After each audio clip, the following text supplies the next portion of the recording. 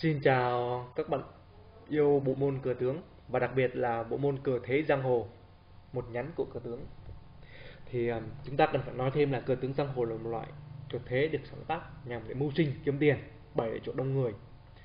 Và để làm được điều đó thì à, nó đã có một đặc điểm chung, đó là biến hóa phức tạp và đặc biệt là mới nhìn thì rất là ngon ăn.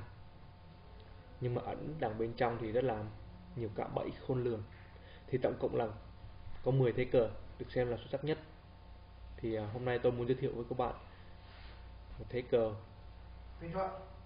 Có tên là thất tự liên ngâm thế cờ này được xem như là được rất hay là rất hay bày ở ngoài các vỉa hè hội trợ để ăn tiền. Và chính tôi thì cũng ngày xưa nhỏ nhỏ thì cũng bị uh, lừa mất uh, mười mấy hai chục nghìn vì cái tội ngu của mình. Thì hôm nay thì uh, tôi xin dạy giới thiệu cắt giải chi tiết của thế cờ này. Các bạn cần lưu ý một điều là bên đen, có bốn con tốt đang vây con tướng như thế này. Mới thoạt đầu nhìn qua thì chúng ta cần phải nghĩ rằng là bên đen phải đi vài ba nước thì mới, ít nhất cũng phải là hai nước nữa thì mới thắng được bên đỏ. Nhưng mà thực tế thì bên đen, bên đỏ chỉ cần không chiếu một nước là bên đen sẽ cho bên đỏ hết cờ và chạy tôi ngay thì các bạn cần phải lưu ý đến điểm này. Thì tôi sẽ không nói đến điểm này, thì các bạn tự suy nghĩ. Là tại sao mà bên đỏ chỉ cần không đi một nước thì bên đen chiếu chiếu tướng hết cờ ngay. Mà tôi sẽ đi vào giải chi tiết thôi. Nào chuẩn bị, nào, bên đỏ đi trước, đặt một, ăn hai. Bắt đầu. Chiếu tướng. Đèn ăn tượng về.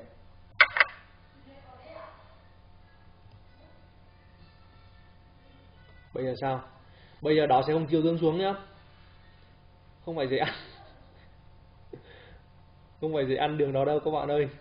Đừng có mà suy nghĩ như vậy. Nếu các bạn chiếu tường xuống phát thì tượng này ăn lên liền. Đừng có mà ham hố. Không phải uh, dễ ăn như vậy đâu. Thì uh, tiếp tục nhé mà bên đỏ phải đi như thế này đấy các bạn. Đi như này thì cái tên đánh cờ thế nó sẽ giật mình ngay.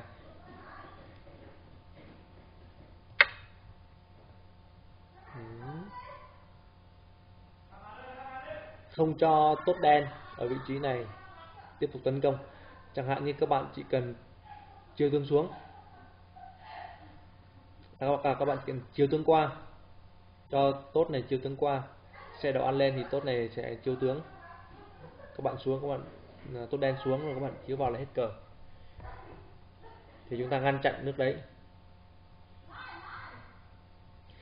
Nhưng bên đen thì cũng nguy hiểm không kém bằng cách rồi. Thấy không? Lên tượng chặn ngay thế này. Bên đỏ phải tấn công. Thì nhằm để giải nguy trong, trong trường hợp này thì chúng ta phải thí quân đoạt mật đấy. Thủ tướng rồi nhá.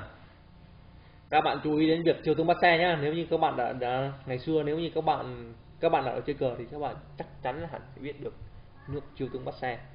Nó đã được áp dụng rất nhuần nhuyễn thần thục ở trong thế cờ này. Chiều tướng. Đó thì chỉ còn cách là ra tướng. Này.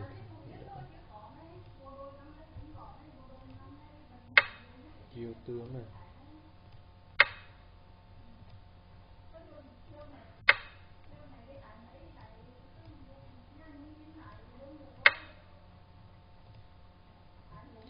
Bây giờ thì em tượng đỏ, ăn tốt về, hóa giải bớt mối nguy. Cho bên đỏ.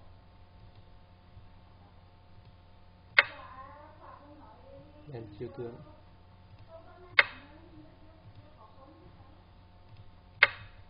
cục diện bây giờ là rất là nguy cấp.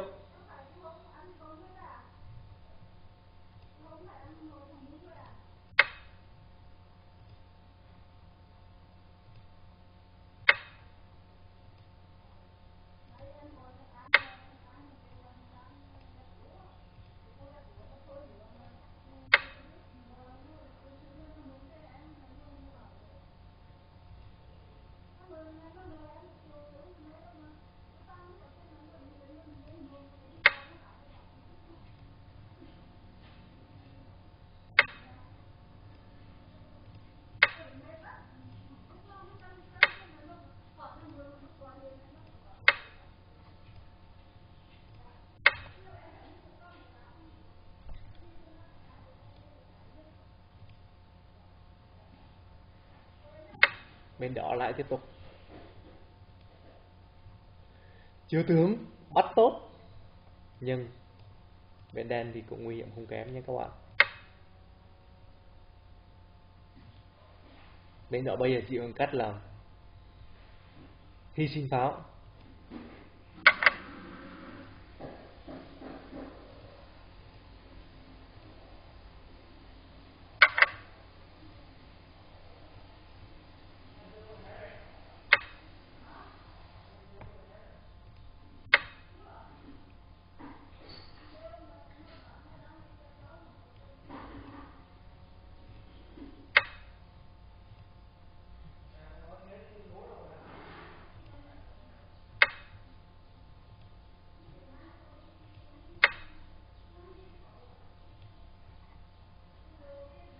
chiêu tướng.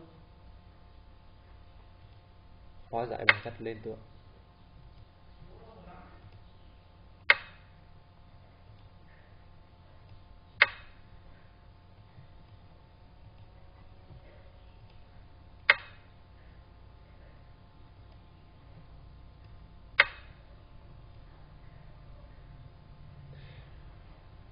bên đỏ xuống pháo ở đây nhằm mục đích là lợi dụng quân tượng này để chiêu tướng.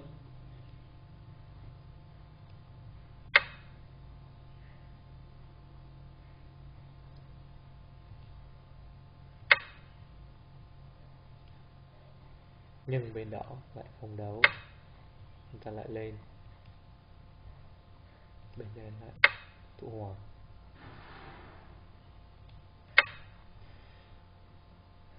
tới đây thì chúng tôi có thể nói với các bạn một điều rằng gần như là chắc chắn. Rằng ván cờ này được kết thúc là ván cờ hòa cho cả hai bên.